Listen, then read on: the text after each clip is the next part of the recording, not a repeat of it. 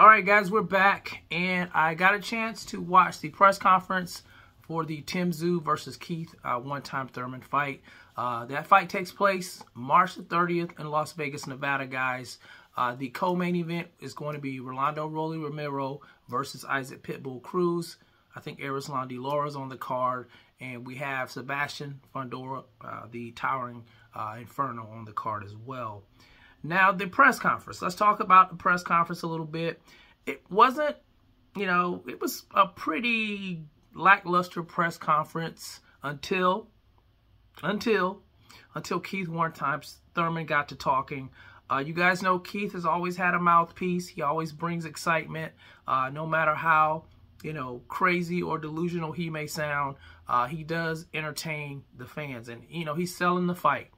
And a lot of people are talking about a comment that he made uh, uh, to Tim Tszyu about being a flat-footed Mexican fighter. So some people are, are taking that, you know, as disrespect. And I do understand he, he, he did kind of go there. So let me let you guys listen to what he actually said. We're going to hear Tim Tszyu first, and then we're going to hear, uh, we're going to hear Keith one time Thurman respond.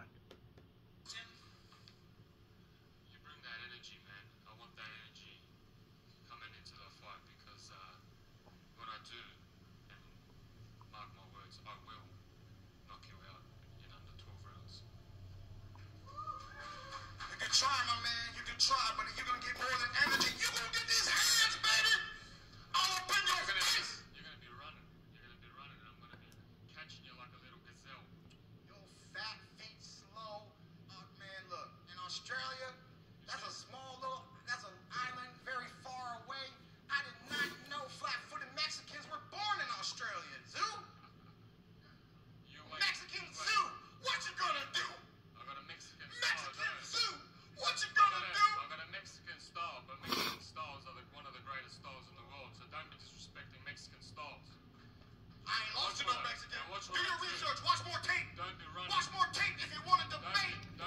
All right, so that's Keith Thurman uh, losing his damn mind.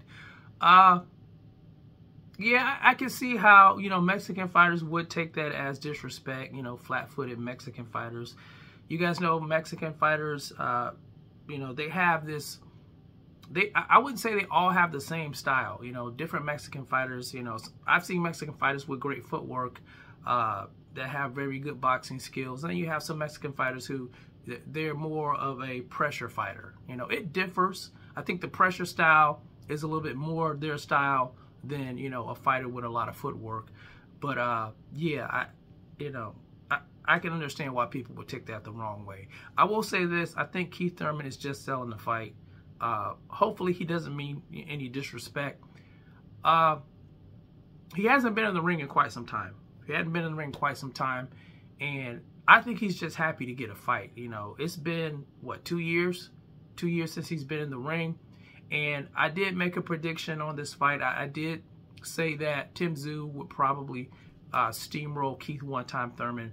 And hear me out. I know some people disagree with that because Keith Thurman, I would say he is the more skilled fighter of the two. But, you know, you have to look at all the aspects going into the fight. Tim Tszyu's been very active. Uh, Tim Tszyu has improved as a boxer. You know, his skills are getting better. Where you have uh, Keith one-time Thurman, you know, he's older. Uh, he hasn't been active. He hasn't been active. And he's never fought at 154. So we don't know if he can take, you know, the punches coming from Tim Tszyu. Tim Tszyu's got bricks in his gloves.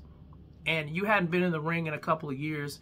And he's going to catch you eventually. I know Thurman uses a lot of lateral movement, a lot of footwork, but how long will he be able to do that? Will he be able to do that the whole 12 rounds without getting hit? You know, he's going to get hit, and will he be able to take that? And we all know, we all know Keith Thurman is not, you know, he doesn't take body shots very well. You know, he's prone to spitting out the mouthpiece. We've seen that in the past. And uh, we're just going to have to wait and see. And, and that's why I have Tim Tszyu winning the fight. I think, you know, Thurman will be able to get away with it for a while, but I think eventually he'll get caught. Uh, I'm pulling for Thurman, but I'm still a realist. I give you guys the straight up, you know, what I really think is going to happen.